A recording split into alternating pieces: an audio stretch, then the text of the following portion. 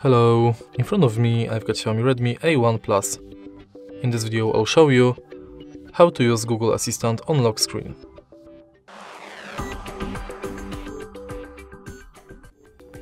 In the beginning, let's go to Google app, enter menu and go to settings. Go to Google Assistant, enter voice match and enable Hey Google function. As you can see it's working, so let's go back and enter lock screen. Also make sure that assistant responses on a lock screen are enabled. Now you can simply lock the screen and say Hey Google. Hey Google. What's the weather like tomorrow?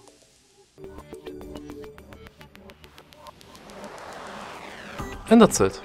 If you find this video helpful, please leave like, comment and subscribe.